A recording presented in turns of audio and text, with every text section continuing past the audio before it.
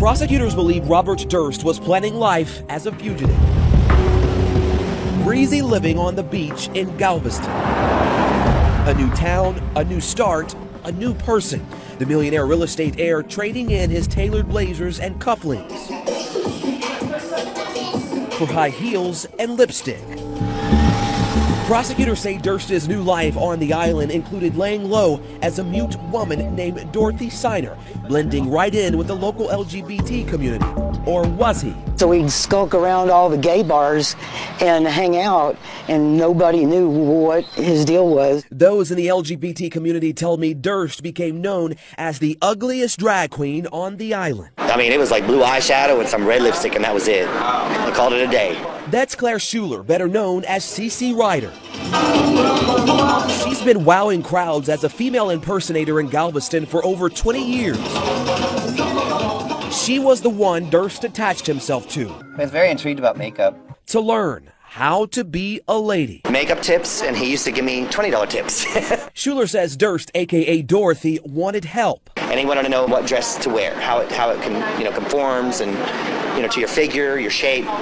Do you wear hip pads or butt pads or, you know, what do you use for, for bosoms? Because he really wanted to pass as a real woman. Schuler tells me Durst wasn't a larger than life crossdresser.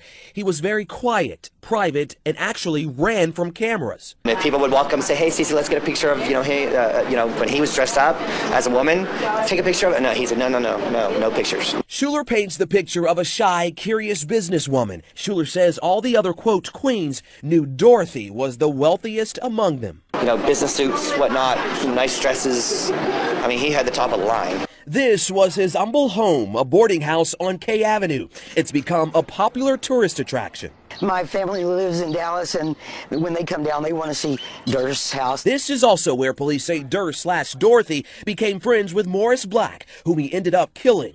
Prosecutors say Black knew about Durst's secret life as a woman. Schuler says Durst slightly let his guard down for him, allowing the whole mute facade to sometimes fade. I do remember him talking to me. At the time, did you know that this was Robert Durst? Oh, hell no.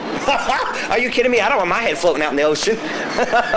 Arrested in New Orleans on weapons charges, police believe Durst was once again headed for an undercover life, trying to escape questioning this time in the murder of his friend Susan Berman. Police found him with a mask, but no wigs or lipstick.